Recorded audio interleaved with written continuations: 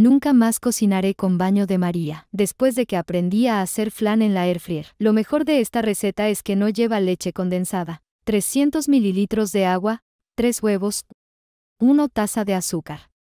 Y ahora, vamos a licuar. 2 tazas de leche en polvo. Licuamos. Una caja de crema de leche vainilla a tu gusto, viste. Licuamos todo. Un molde de flan que ya está con caramelo. Lo cubrimos con papel de aluminio. Y lo colocamos en la air fryer precalentada. Está listo. Y dejarlo enfriar. Estás viendo que acá en el medio está moviéndose, no puede quedar seco, sino cuando se enfría se encoge. Le damos unos toquecitos. Flan servido y mira. Queda delicioso.